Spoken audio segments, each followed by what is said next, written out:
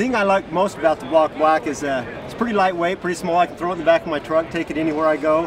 Also, it's got great contrast, so even in low light conditions, if I need to take a practice shot, I can see my pins. Also, I can see my arrows really well where they hit and don't have to use my binoculars.